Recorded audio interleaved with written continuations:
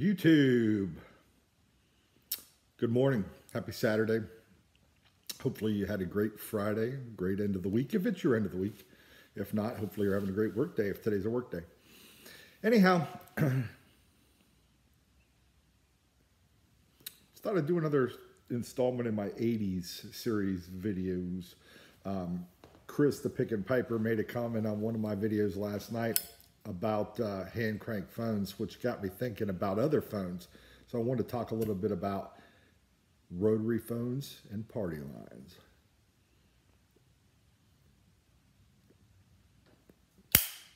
So, breaking in a new one. This is a, it's kind of a second. I don't think he calls them seconds, but it's from the Pipe Nook. It's a 207 7 LA Series 3 9 millimeter. Love kind of the saddle bit. I'm getting big time back into straight pipes and getting out of the bents. So maybe I'll have some up for sale or trade. We'll see. Uh, I do think also, while I'm on the topic, I am going to cull the herd a little bit. So look for a video today or tomorrow about tobacco sales. I've got some esotericas I'll probably look to move, uh, some Carolina Red Flake, um, some uh, Pocro, some small batch stuff. Not my, uh, not my Sun Bear though. But I'm going to look to move it. I've been smoking the heck out of Carter Hall and just getting back into that. I don't know if Carter Hall, if putting age on it really matters, but this has about a year on it. and the chocolate boozy flavor is phenomenal.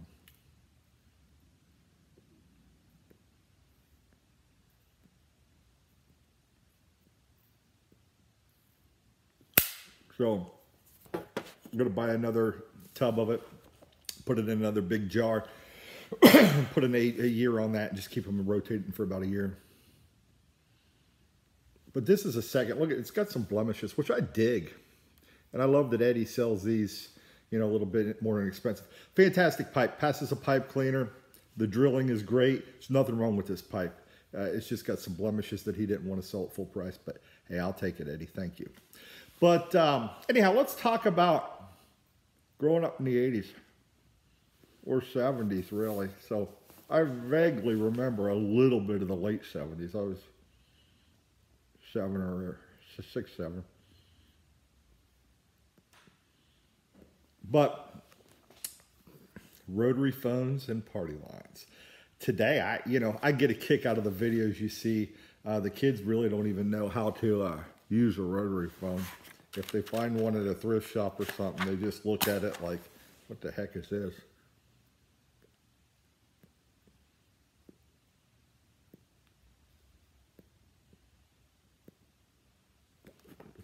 Trying to keep some fire on that. So we grew up, I, I grew up, small town, Ohio. And for years we were on a party line. So I don't know if anybody had those, remember those, but the party line was multiple people in your neighborhood shared the same phone line. So if you picked up the phone and you needed to make a call and somebody else that was attached to your phone line, the other party, our neighbor, was on the phone, you could just listen into their conversation. They'd hear you pick up and say, well, I'm on the phone, hang up. Sometimes, sometimes you could just sneak in and listen. As a kid, I, I was uh, a little unscrupulous and did that a few times, but uh, it was never anything pressing. But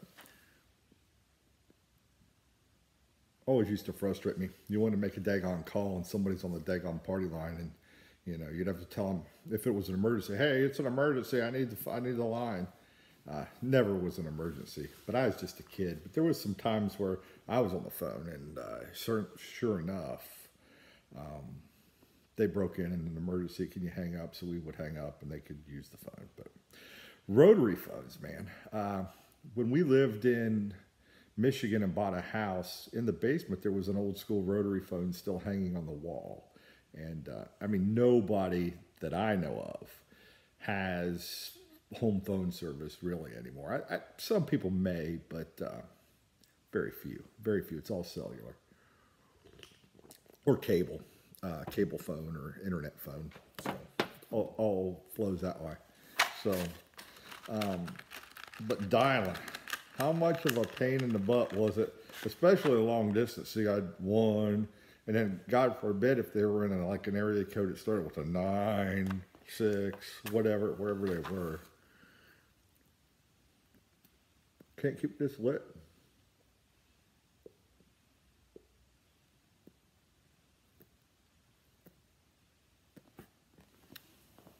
Today we're spoiled. Just hit the button in the truck. Call Mandy. Boom. There it is. Don't even touch nothing. No dialing, no nothing. Boom. Calls her. Same thing on your phone. Call so and so. Done. One button pressed. So, you know, what was your experience? Did you, I, you know, and I'll never forget the time we we got our first freaking cordless phone. Now that was amazing. Loved the cordless phone, and then you you know the push button dial. That was that was big time, big time. I will tell you.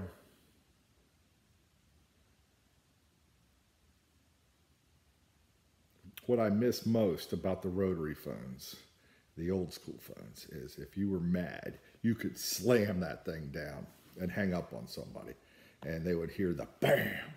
You can't do that now on your cell phone. You, you hang up on them, it just goes dead. But man, that, that was that was poetic. If you were upset, you could just, boom, and they knew you hung up on them, and you were pissed, and that was that was great. So,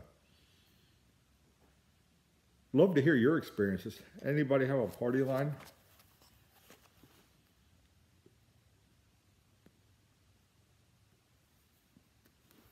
I'll never forget when we got off our party line and got a private line. Now that was awesome. Thought we were the kings of the world at that time. Kings of the world, man. We got a private line. Which was fantastic, man. So, Chris, Pick and Piper, thanks for putting that bug in my ear, man. That was cool when you were talking about a hand crank phone. Now, I do not, I've never used a hand crank phone, but he was just kind of joking with me last night in the comments and said mentioned that. So got me thinking about rotary phones and it got me thinking about party lines and it got me thinking about my 80 series. So here we are. Hopefully you enjoyed the video. Uh, 207, man, apple shape. Love this thing. I, I love this straight pipe saddle bit. My change in taste, maybe somebody's gain. I may have some pipes coming up. Like I said, look for tobacco, a culling of the herd. I've got some stuff I'm probably going to move. I'm not going to gouge anybody, but it is going to be market price. I'm, going to, you know, this stuff, I've got eight ounce bags of, and so to bed, Pembroke, Margate, um, quite a few others. The Penzance Sustain, I'm sorry. Um, don't have any Stonehaven or Peacehaven, sorry about that. But uh, I've got a bunch of the Carolina Red Flake um, from the small batch this year. The cool thing about that is if you if you want it, it's already got some months on it. I know they're going to come out with it again this year, but you can buy it with some age on it already, a little six months or whatever. Sands of Poke Rose, same thing. Uh, they're going to probably come out with it again, but it'll it'll have this will have a little bit more age on it. And if nobody wants it, that's cool. It'll sit in the cellar and I'll smoke it. I don't smoke a lot, and you know, shoot, I've got pounds of tobacco that I'll never smoke. I just don't smoke. I don't smoke ten bowls a day. I, I smoke maybe on the weekends, or maybe five, six bowls a week. So a tub of Carter Hall would last me a year probably. But back to basics. Back to basics. Loving this Carter Hall. Wishing you all the blessings in the world. Take care of each other out there. Pay it forward. Uh, if you get the chance to help somebody, take care of somebody, do something special for somebody, take that opportunity and do it. Have a great day, everybody. We'll catch you later.